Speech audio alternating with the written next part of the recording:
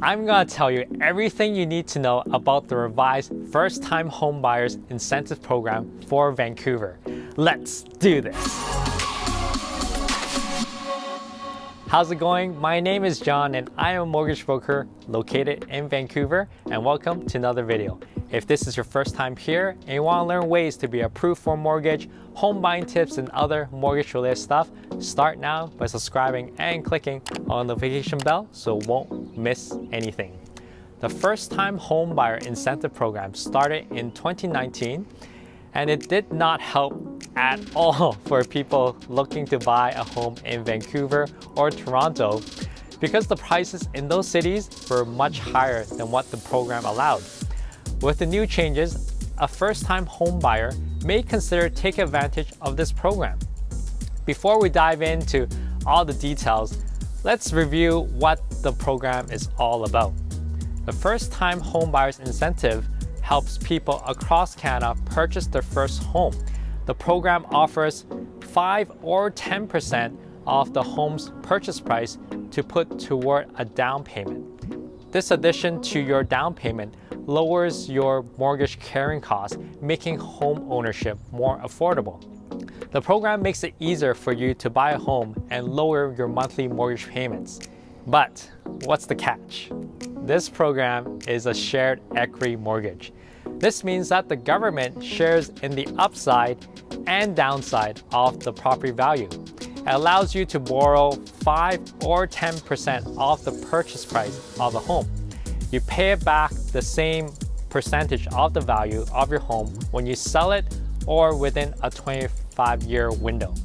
The incentive is like, it's like a second mortgage on your home. Your first mortgage must be greater than 80% of the value of the property and is subject to a mortgage loan insurance premium. Now that we have an overview of the program, let's go over a few criteria to determine your eligibility for the first-time homebuyer incentive, and we'll go over the changes made specifically for Vancouver. Of course, first off, you need to be a first-time homebuyer. You are a Canadian citizen, permanent resident, or non-permanent resident authorized to work in Canada. And your down payment is from your own savings and not borrowed. Now, here are the changes your total annual qualifying income doesn't exceed 150,000 if you're buying in Vancouver. Before, it was 120,000. And your total borrowing is no more than 4.5 times your qualifying income, whereas before, it is only four times, including the government incentives. So, now, what does this all mean to you? It means you can qualify for a purchase price up to around 722,000 instead of only 505,000 under the original requirements. So is this program right for you? Well, of course, the infamous answer is it depends. But I'm leaning more towards staying away from it. People think using the program allows you to buy something more expensive it's not. You actually end up borrowing the same amount, if not more, if you didn't use the program. So if you're looking to maximize your borrowing power, stay away from this program. You'll end up buying something less than what you can actually qualify for. So who is this program for then?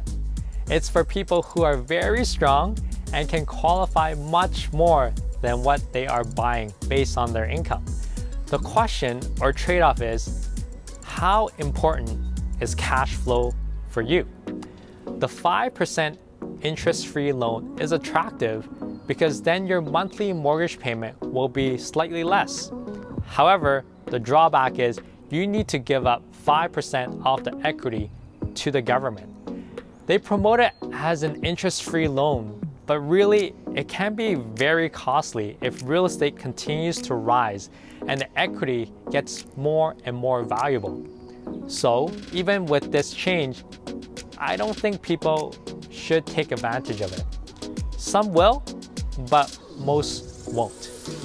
Giving equity to the government can be very costly, in exchange for only a slightly lower monthly payment, I don't know, I don't think it's worth it.